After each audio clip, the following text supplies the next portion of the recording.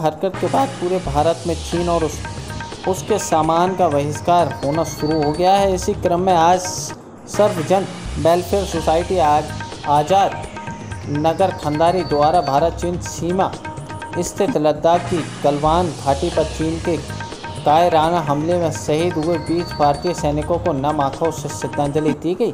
इस दौरान चीनी वस्तुओं के बहिष्कार को लेकर चीनी राष्ट्रपति का पुतला दहन करते हुए चाइनीज़ सामान की। प्रतीकात्मक होली जलाई गई। इस मौके पर सोसाइटी के अध्यक्ष नीरज मिलन के कहा, अध्यक्ष नीरज मिलन ने कहा कि चीन ने हमारे देश की अस्मिता पर आघात किया है, जिसे कतई सहन नहीं किया जाएगा। चीन की नापाक हरकत का जवाब हर हाल में हमारी सेना देगी।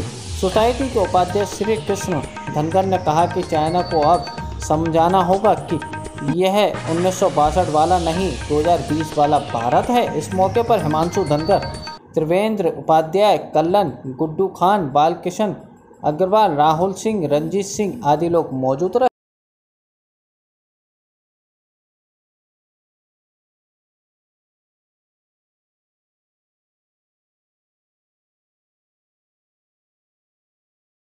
क्या किया है आपने? हम क्या लोगों ने चाइना के सामान का बहिष्कार किया है। क्योंकि चाइना इतनी गद्दारी कर रहा है भारत संघ करता है आज तक पीठ में छुरा भोगने वाला काम किया।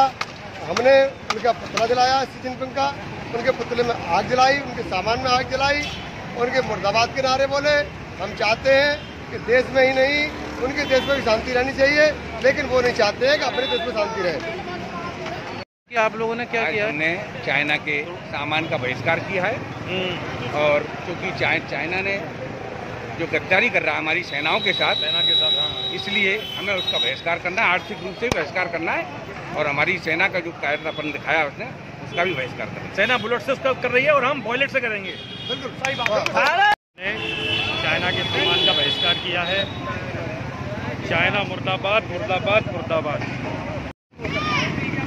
ये चीन ने चीन ने जो पंद्रह तारीख को गलवान में हमारी गलवान घाटी में हमारे जो 20 सैनिकों को बुरी तरह से शहीद किया है ये बहुत ही गलत है। हम इसके विरोध में चीन का सारे सामान का जो पुरजो विरोध करते हैं और चीन का कोई भी सामान से नहीं देंगे चीन मुर्दाबाद मुर्दाबाद!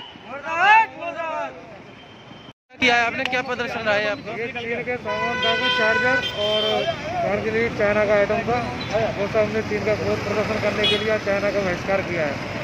और चाइना का सामान खरीदेंगे और ना चीज़ों खरीदने खरीदेंगे देंगे सबसे हाथ जोड़ के विनती करेंगे कोई भी चाइना सामान ना ले।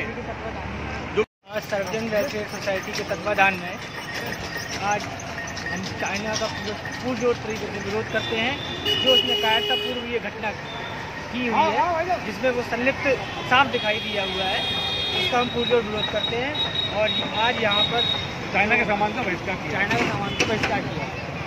जय